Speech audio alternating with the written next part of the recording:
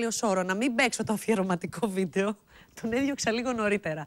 Ε, γιατί δεν μπορεί να μην δούμε πως αυτός ο άνθρωπος είναι 40 χρόνια φούρναρης και 22 στον αντένα.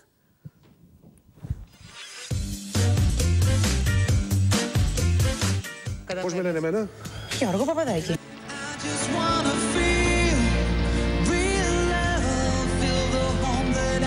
Κατάφερε να τον αποκαλούν με το μικρό του όνομα και να κάνει συνήθεια το πρωινό ξύπνο στους τηλεθεατές. Άλλωστε το να λες 20 χρόνια καλημέρα Ελλάδα είναι μια συνήθεια που δεν κόβεται. Καλημέρα Ελλάδα κυρίες και κύριοι, φίλες και φίλοι από όλη τη χώρα. Καλημέρα σας και πάλι μαζί σας για να σας κρατήσουμε συντροφιά. Σήμερα Τρίτη, 7 Σεπτεμβρίου 1993, η μέρα ξε- ξημέρωσε με σημαντικότατες πολιτικές εξελίξεις. Ο Γιώργος Παπαδάκης καταγράφει ρεκόρ τηλεοπτικών ωρών ζωντανού καθημερινού τηλεοπτικού προγράμματος, δημιουργώντας στον τηλεθεατή την αίσθηση πως είναι μέρος της καθημερινότητάς του. Το είπε ο Γιώργος το πρωί, λένε και ξαναλένε, αποδεικνύοντας πως τόσα χρόνια η σχέση που έχουν χτίσει ανάμεσά τους είναι μια σχέση ειλικρίνειας. Και πού θα σε βρούμε, πάμε πίσω-πίσω. Πολύ πίσω-πίσω. Όταν πρώτο Στο ξεκίνησε. σπασμένο τζάμι μια, μιας πόρτας που εγώ το έκανα οθόνη τηλεόρασης και με ένα ντενεκάκι έκανα τον εκφωνητή. Ηλικία; Ε, πριν από 10 χρόνια όταν ήμουν 8-9 ετών εκεί περίπου. 8-9 ετών, λοιπόν. Και αλήθεια, πες μου τι. Τότε δεν εκπο- υπήρχαν ντενεκάκια όμως, ε. Να Πριν- σου πριν- πω. Άντε, πριν από 13 Έλα, έλα, χρόνια. πριν 13 χρόνια. Βάλε 14 τώρα για να είμαστε μέσα. Και δεν μου λες κάτι, η εκπομπή αυτή που έκανες περιεχομένου. Τι έλεγες δηλαδή, τι θυμάσαι τον εαυτό σου, μάλλον τι σου Κοινο- λέει. κοινωνικού περιεχομένου τα είχαμε τη μάνα μου. Κάτι μου είχε κάνει και. Και τι της έλεγες, δηλαδή. Τα είχες πάντα με τη μάνα, μονίμως με τη μάνα σου και με τον πατέρα σου. Κάτσε τώρα, να τα ξεχωρίσουμε τα πράγματα. Μέχρι ενός σημείου πίστευα ότι τα είχα εγώ μαζί τους, αλλά από ένα σημείο και μετά νόμιζα ότι τα είχαν εκείνοι μαζί μου. Μα είχα μπερδευτεί Ήμουνα- το πράγμα. Ήμουνα ιδιαίτερα ανήσυχο παιδί. Πολύ, πολύ ζωηρό παιδί. Χωρίς μεγάλες αλλαγές, ίσως η μοναδική εκείνη χρονιά που ξύλισε το μουστάκι του, ο Γιώργος Παπαδάκης δεν εγκατέλειψε ποτέ την πρωινή ενημερωτική ζώνη, δημιουργώντας τα 20 χρόνια πορεία του στον Αντένα μια δική του σχολή τηλεπαρουσιαστών, όπως ο Γιώργος Σαφιάς στο πλάνο 15 χρόνια πριν. Και είναι σίγουρα κάποιος άλλος. Σύμφωνα με το πρόγραμμα σύγκλησης, το 1998 η κυβέρνηση πρέπει να αναζητήσει πρόσθετα έσοδα ύψους ενός 3 εκατομμυρίου δραχμών. Θα σας πάω 20 ολόκληρα χρόνια πίσω. Η νεαρή δημοσιογράφο που βλέπετε από τη Θεσσαλονίκη σίγουρα σας θυμίζει κάτι. Σκεφτείτε το. Έχει αλλάξει σήμερα, αλλά είναι η ίδια. Η Βίκη Χατζηβασιλείου. Καλημέρα Βίκη, καλημέρα Θεσσαλονίκη, καλημέρα Βόρεια Ελλάδα. Καλημέρα Γιώργο, καλημέρα Ελλάδα, καλημέρα κύριε Μουστάκα. Να περάσουμε αμέσως στο θέμα μας, γιατί ο χρόνος είναι λίγος. Συμπληρώνονται αυτές τις μέρες 70 χρόνια από την τραγική επέτειο του ξεριζωμού 1,5 εκατομμυρίου Ελλήνων από τις πατρογονικές τους αιστείες στη Μικρά Ασία.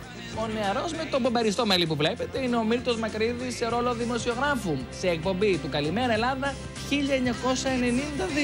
εμποδίζουν κάποιους εργαζόμενους που θέλουν να εργαστούν να μπουν μέσα. Μέσα στις τόσες κασέτες εντοπίσαμε και το Θοδωρή Δρακάκη από το 1993. Με σακάκι χρώματος αγνώστου προελεύσεως να μας λέει τα νέα της ημέρας. 300 χρόνια συμπληρώνονται από την εμφάνιση των πρώτων ταξί στο Λονδίνο.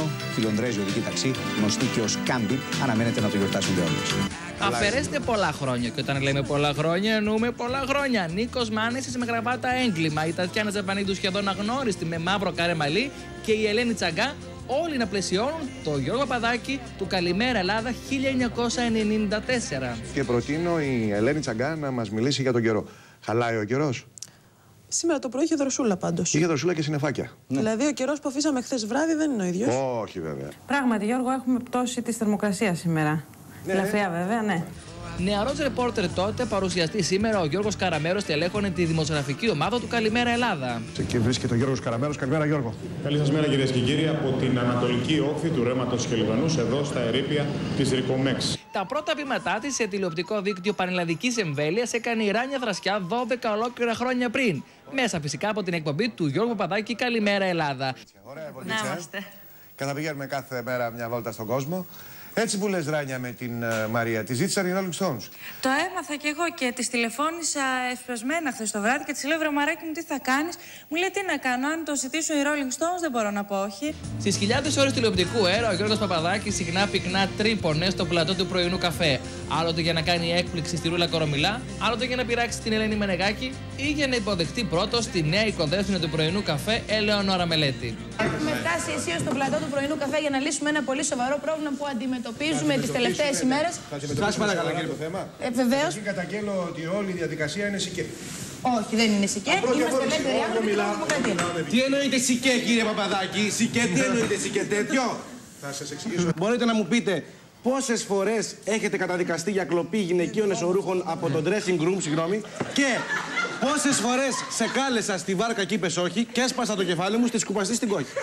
Τι το θέλατε το φούξ και εσώρουχο, κύριε Όχι, κύριε Παπαδάκη. Κασπίρη, σας παρακαλώ. Το φούξ και Πείτε μου, εσώρουχο. απαντήστε μου. Βάσ- Τη, τη, τη Βέσπα επισκέβασα. Αν είσαι πάμε βόλτα, να θυμηθούμε τα παλιά και να μαζέψεις χόρτα. Καλύφθηκα. Εγώ καλύφθηκα, Έχεις κύριε καλυφθεί. Γιώργο, καλημέρα, Ελλάδα.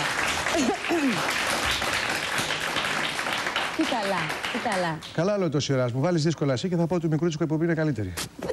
Οπότε μπορεί να πεις ό,τι θέλεις. Είσαι ένας άνθρωπος και ένας δημοσιογράφος, ο οποίος λέει πάντα την αλήθεια και μπορείς να λες την αλήθεια χωρίς φόβο και πάθος. Αλλά σε παρακαλώ πάρα πολύ, λοιπόν, αφού Θα είναι αρχίζεις χωρίς όρους ο ορό. με ορό και με όρους. Και με όρους. Να σου πω κάτι. Τους οποίους θα θέσει εσύ.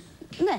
Λοιπόν, εάν, Ανεφόρον θες. εάν διαπιστώσω. Ναι, για άνεφορο, λέει. εγώ λέω άνεφορο. Ναι, αν λέει. διαπιστώσω ότι κάτι δεν πάει καλά, θα αλλάξουμε τους όρους και τον ορό και θα αρχίσω να ρωτάω εγώ. Γιατί όταν μιλάμε για πρωινή ψυχαγωγία, μιλάμε για πρωινό καφέ. Μιλάμε για Ελεονόρα Μανέτη!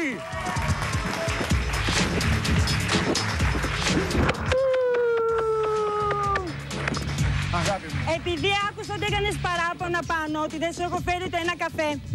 Σου φέρνω έναν, ελπίζω να μην σε πιάσει τρέμουλο όπως αυτό που έχω εγώ τώρα, γιατί είναι εσπρέσο σκέτο. Κοίτα Τώρα πώς τρέμω πάω. κι εγώ που είδα σένα.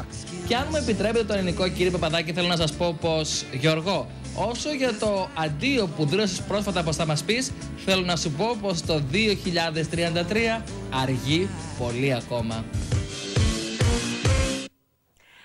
Αν η διάρκεια είναι συνώνυμο της επιτυχίας, τότε σίγουρα ο Γιώργος Παπαδάκης την έχει στο τσεπάκι του. Δεν είναι τυχαίο να σ' αγκαλιάζει ο κόσμος για τόσα πολλά χρόνια. Και βλέποντας και αυτό το βίντεο θυμήθηκα όλους τους συνεργάτες που έχουν α, περάσει από το πλευρό του. Πολλοί από αυτούς προχώρησαν και χάραξαν τη δική τους α, πορεία. Άλλοι δεν βρίσκονται σήμερα στις οθόνες μας. Το θέμα είναι όμως ότι θυμηθήκαμε όλη αυτή τη διαδρομή και είναι πολύ μεγάλη. Και επειδή μου είπε πριν ο Γιώργος Παπαδάκης ότι δεν έχει αντίγραφα για το αρχείο του, νομίζω ότι η σημερινή εκπομπή αξίζει να την κρατήσει για να έχει και αυτό το βίντεο. Λοιπόν, πάμε σε ένα διαφημιστικό διάλειμμα και επιστρέφουμε σε λίγο. Φαντάζομαι τώρα φτιάχνετε βαλίτσες για το τρίμερο, ε; Ή ψωνίζετε και